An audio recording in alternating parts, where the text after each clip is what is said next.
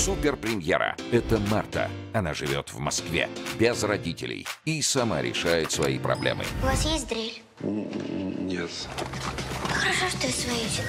А еще она профессиональный аферист. Держи. Только обещай, что мы тебя здесь больше не увидим. А это Марат, мелкий мошенник.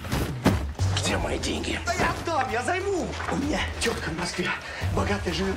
который добавит Марте проблем. Я Марат, родственник из Казани. Нет у нас таких родственников. Ты нарушил все мои правила. Ты настоящий свинтус, Марат. Узнай, что получится, когда они объединятся. Я вот легко могу передумать. И ты поедешь обратно домой.